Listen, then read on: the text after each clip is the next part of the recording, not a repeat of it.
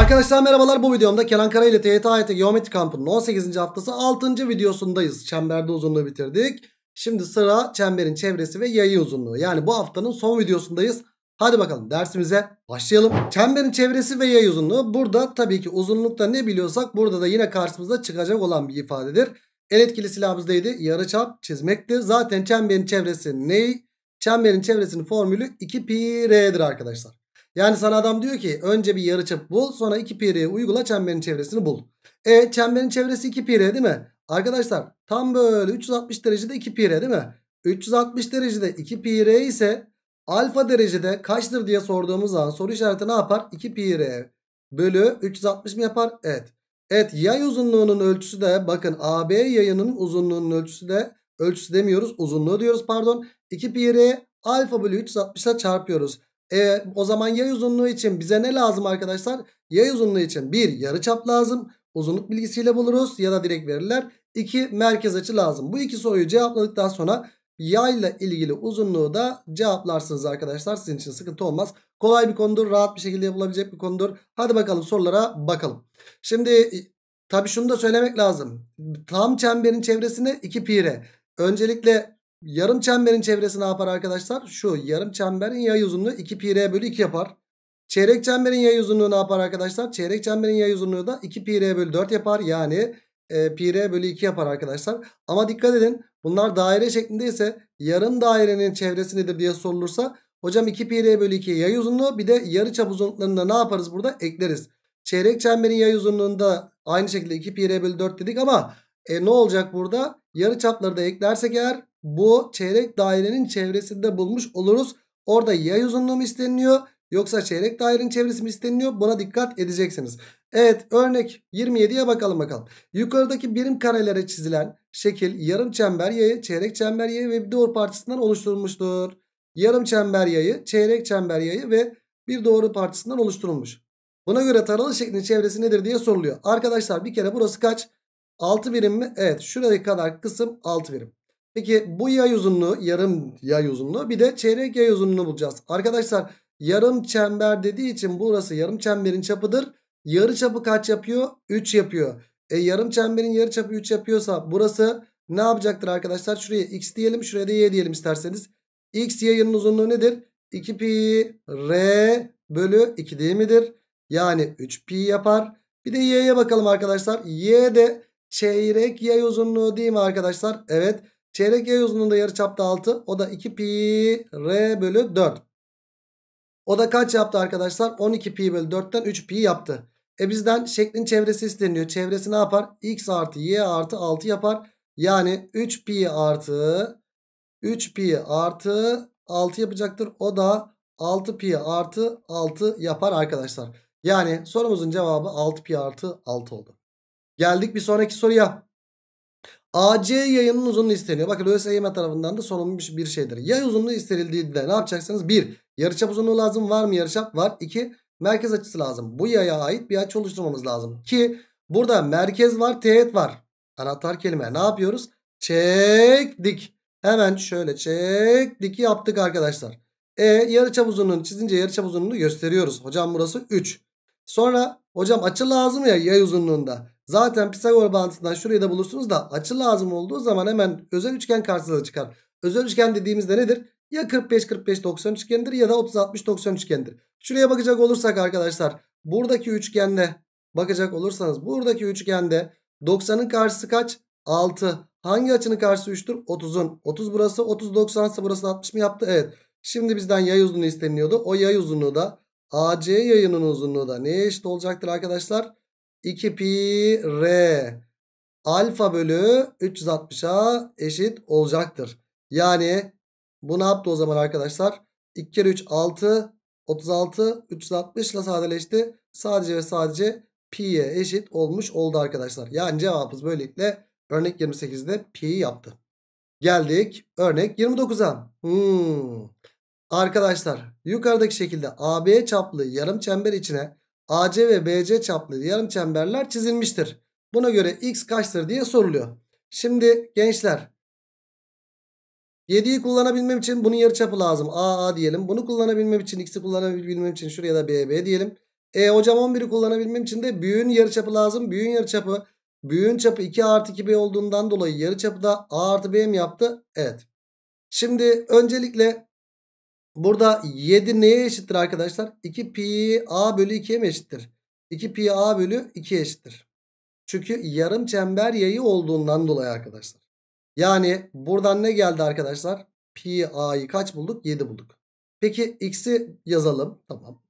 x nedir? 2 pi b bölü 2 ise x'i buradan ne bulduk arkadaşlar? x'i değil pardon. Evet buradan bölü 2'ler sadeleşti. Pi b'yi kaç bulduk arkadaşlar? x bulduk. Bir de 11'i kullanalım.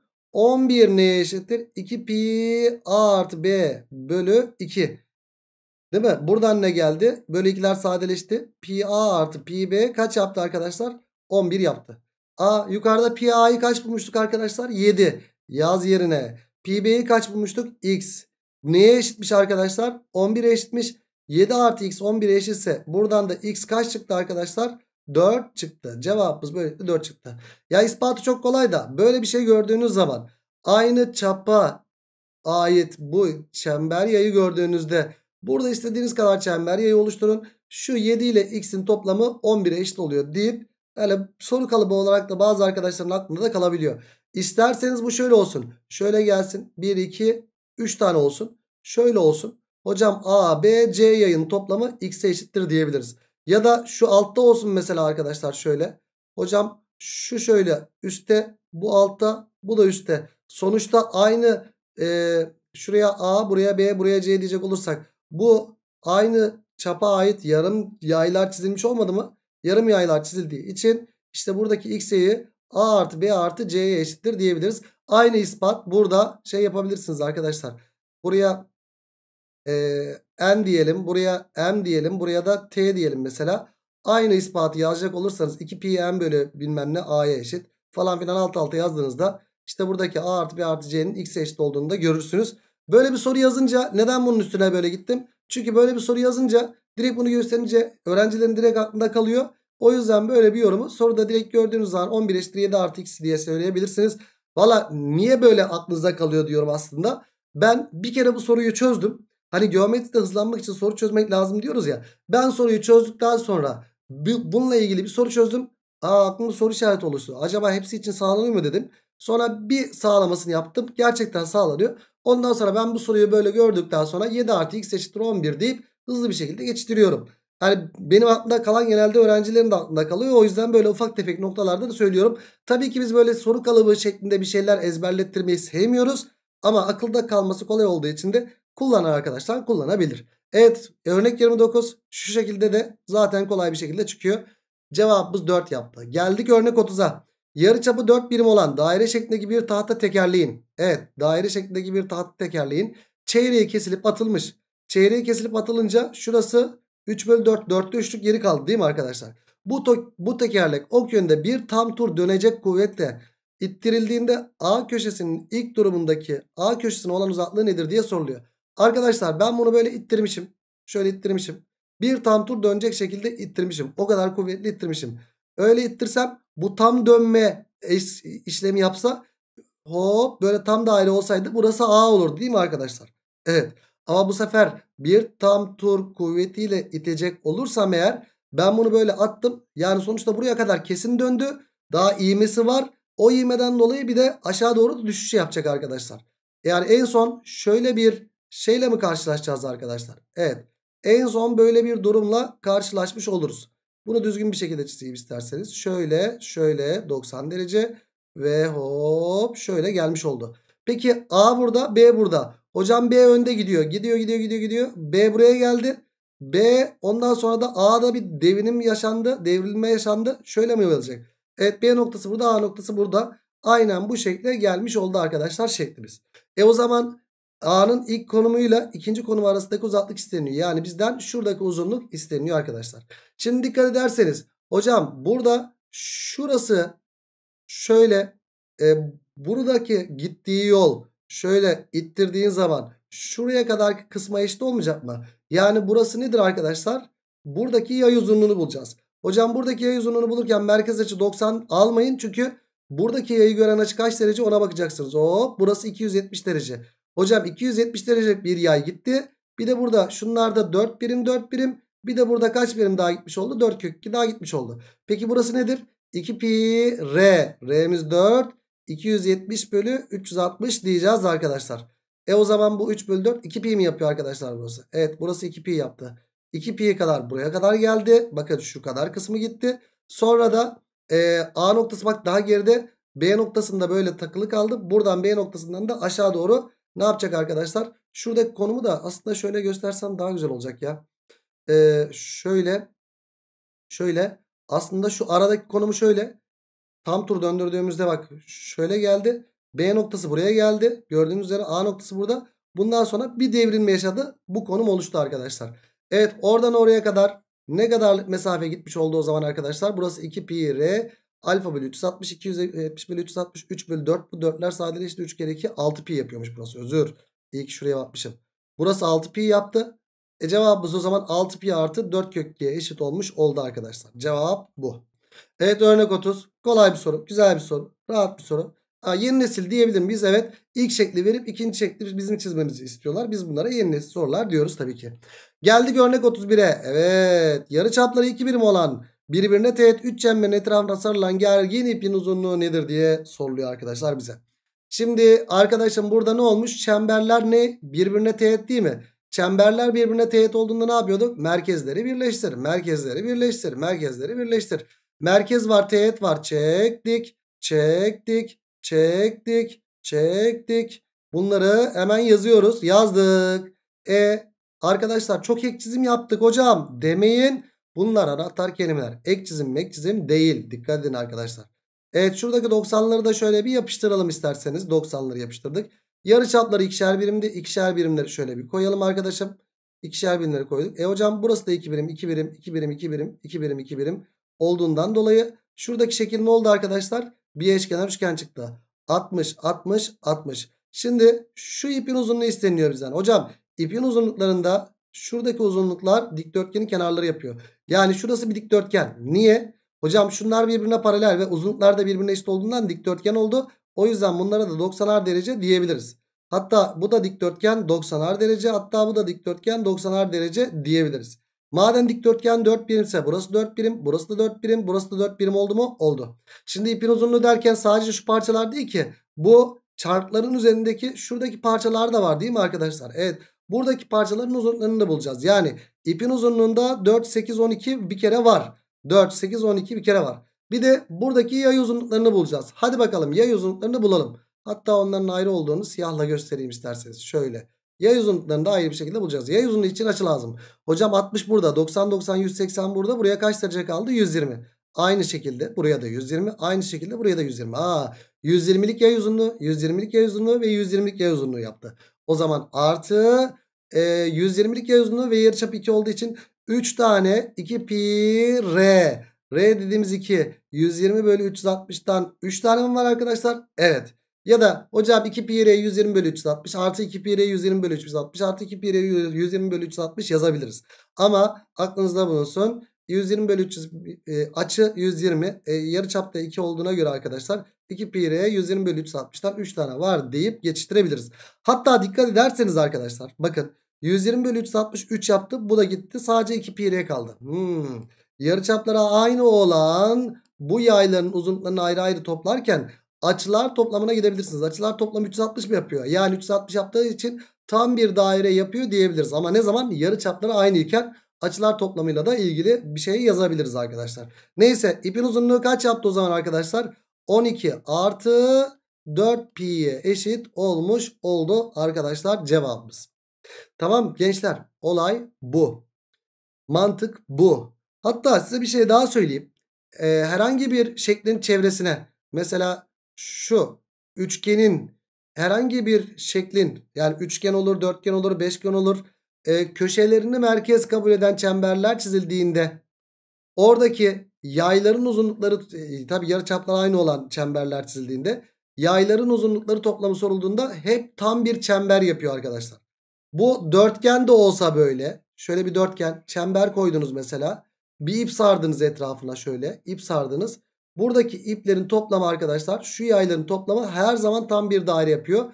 Bu beşgende olsa öyle, altıgende olsa öyle, yedigende olsa öyle arkadaşlar. Şöyle ip sardığınız zaman buradaki yayların toplamı ne yapıyor arkadaşlar? Şu yayların toplamı hep bir tam daire yapıyor arkadaşlar.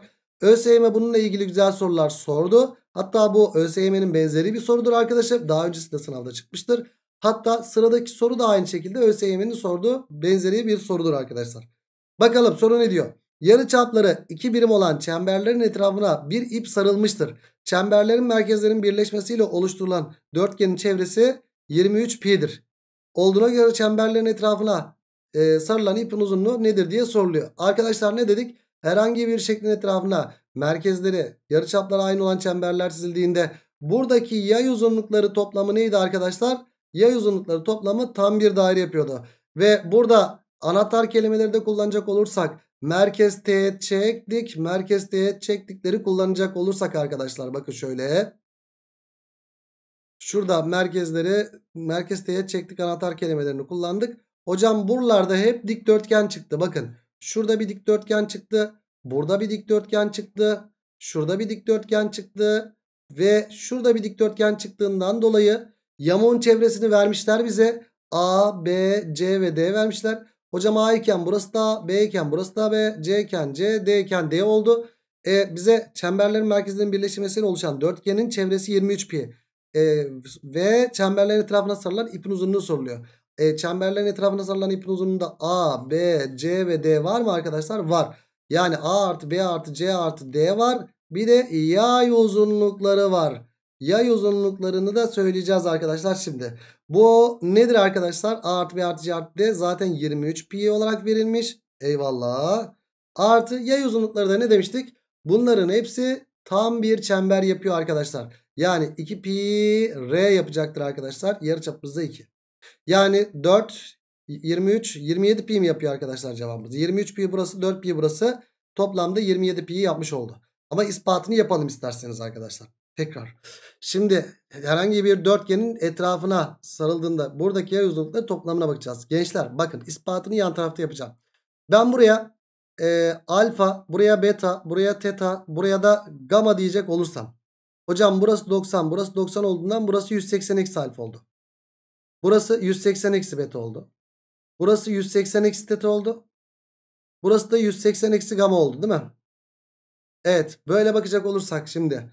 Bu yay uzunlukları toplamı soruluyor. Yarıçaplar aynı olduğu için 180 eksi alfa yani 180 eksi alfa 180 eksi beta 180 eksi teta ve 180 eksi gamma toplamını bulmam lazım. Çünkü e, normalde nedir burası? 2 pi r 180 eksi alfa bölü 360 e, artı 2 pi r 180 eksi beta bölü 360 2 pi r bölü 360 parantezini alınca e, burada 2 pi r bölü 360 parantezini alınca 180 eksi alfa burada kaldı. 180 eksi beta burada kaldı.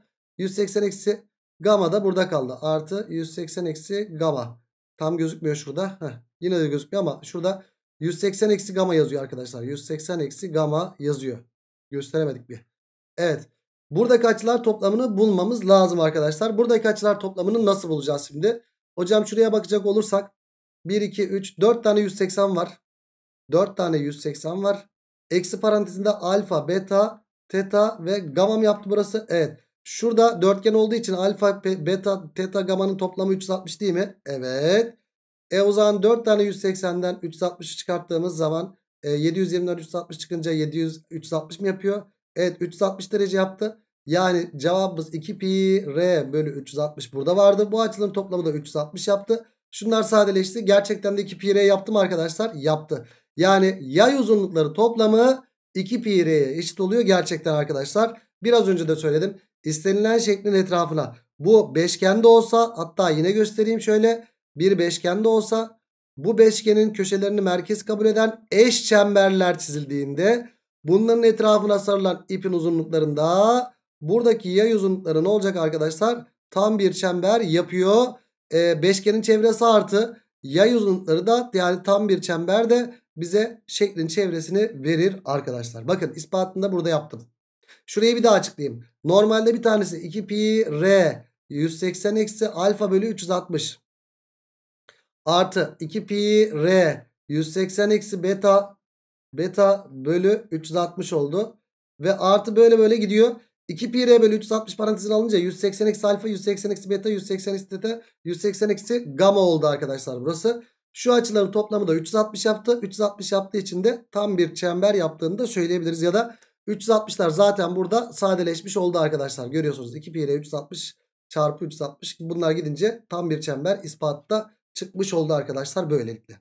Tamam arkadaşlar yalnız dikkat edin e, herhangi bir şeklin bütün köşelerine konulduğunda buradaki yayların toplamı tam bir çember yapıyor diyoruz. Ve yarıçaplarının da eşit olması lazım arkadaşlar. Evet ve geldik son soruya. Arkadaşlar yukarıdaki şekilde bir parkın üstten görünümü verilmiştir. Şöyle. Parkın içinde kenar uzunlukları 4 metre olan ABCD karesi şeklinde yeşil alan vardır. Evet kenar uzunluğu kaç birimmiş arkadaşlar? 4 birim. C ve D yeşil alan işte şurası 4 birim olarak verilmiş arkadaşlar. C ve D noktalarında parkı sulamak için fıskiyeler takılmış ve bu fıskiyelerin her ikisi de yarıçapı 2 metre olan dairesel bir bölgeyi sulayabilmektedir.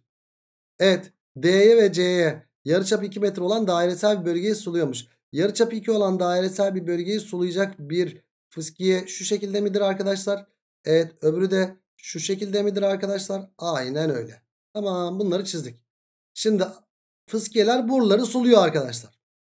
A köşesinde bulunan bir kişi yeşil alana ve sulanan kısımlara basmadan yeşil alanın etrafında tur atıp A köşesine geliyor. Evet A köşesinde bulunan bir kişi şurada yeşil alana bas basmadan tam köşesinden gelecek. Sonra şöyle gidecek sulanan yere basmayacak böyle gidecek. Şöyle gelecek böyle gelecek. Peki bizim eleman böyle mi gider? Şöyle şöyle ondan sonra böyle sulanan kısma basmayacak içeriye ve böyle mi gider arkadaşlar bizim eleman? Hayır. Buna göre diyor bu kişi en az kaç metre yürümüştür? Arkadaş bu eleman buradan böyle gelip böyle yol alacağına bu elemanın en kısa gittiği yol yeşil alana basmayacak dışarıdan gidecek. Şurası değil midir? Şöyle ve şöyle gitmesinden dolayı gideceğine.